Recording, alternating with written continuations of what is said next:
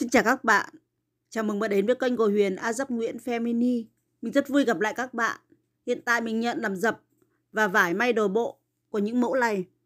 Các bạn ủng hộ mình liên hệ theo số Zalo này giúp mình 098 809 1712.